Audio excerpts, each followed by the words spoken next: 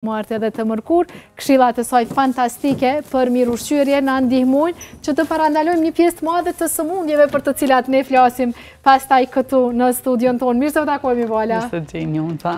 Çka na ke sjell sot në studio? Sot e kam sjell një recetë të tërshërës së pjekur, domethënë quhet kështu për shkak se një prej përbërësve kryesor është tërshëra, mirëpo që zakonisht tërshërën e sjellim qoftë të zier, qoftë lënë gjatë natës në qumësht ose në ujë ose në kos, sot kemi me e pjek në mënyrë që me e bo një lloj deserti me tërshërë, e cilja e ka shijen e mirë, po njëjtën kohë na ofron vlera ushqyese shumë të dobishme. Përbërësi i parë i kësaj recete është bananja, domethënë qëllimi është që t'ia japë atë ëmbëlsinë naturale, e kemi përdor bananen disa herë në receta, edhe vazhdimisht tregoj për faktin që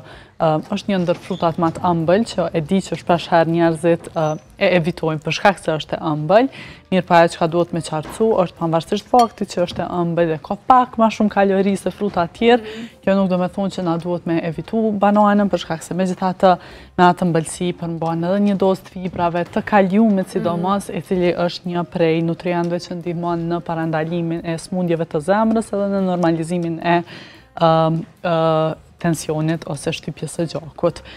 Përbërësi tjetër është tërshëra, të cilën gjithashtu e kemi përdor disa herë, është një prej ushqimeve që unë e preferoj shumë për shkak të sasisë së fibrave që ka, sidomos fibrës beta glukan, e cila është shumë e mirë për shëndetin e zemrës, edhe njëkohësisht fibrat që i përmban janë fibra të cilat ndihmojnë në parandalimin e problemeve të ndryshme, flasim për kancerin në mhm. një prej Nutrientëve që ndikojnë në parandalimin e kancerit të zorrës së trashë janë fibrat. Pra nëse na nuk marrim mjaftueshëm fibra, e kemi këtë problem, prandaj është mirë me i përfshi në ndonjë mënyrë. Dhe Vala është normalizu shumë përdorimi i tërshërës, sepse mhm. e mbaj mend shumë mirë, diku 10 vite më përpara, filloi një bum në internet, sado që mm. rrjetet sociale nuk kanë qenë po kaq të përhapura dhe kaq aktive nuk kanë qenë influencerët të cilët flasin po. aty, ata që ishin mundoheshin të sillnin receta me tërshërë, e cila po. erdhi si një shok global, sepse shumë të tjerë refuzonin konsumimin kaq të shpesh të tërshërës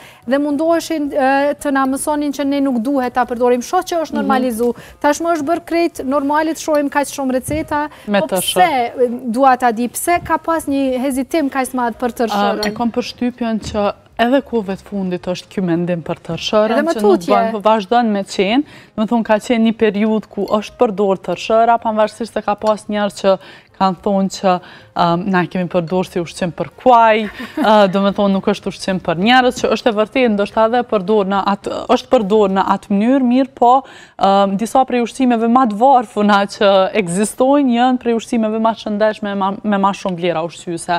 Arsyeja pse vazhdon me qenë kjo ideja që tërshëra nuk bën me u konsumu, është për shkak të faktit se përmban acid fitik, e cila gjendet te shumica e drithnave integrale, mhm. edhe acidi fitik ndërvepron me absorbimin e hekurit në gjak, edhe për këtë arsye shpeshherë përdoret si argument për të mos e konsumu tërshërën.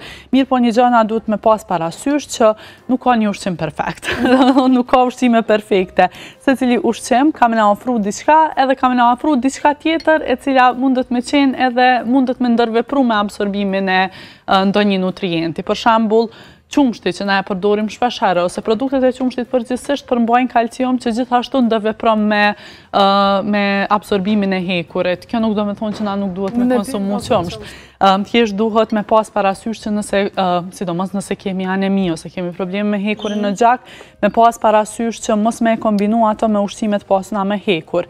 E njëjta vlen edhe për tërshërën, kjo nuk do me thonë që na s'duhet me e konsumu tërshërën, thjesht nuk duhet me e llogarit si ndonjë një burim shumë të mirë të hekurit, për shkak të acidit fitik që e përmban. Do me thonë, prapë e them që gjithmonë mundemi me gjetë produkte,